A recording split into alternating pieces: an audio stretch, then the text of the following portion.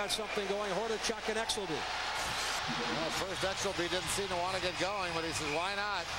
They've certainly been jawboning at one another all night long. Whoa! The right cross sends Exelby down.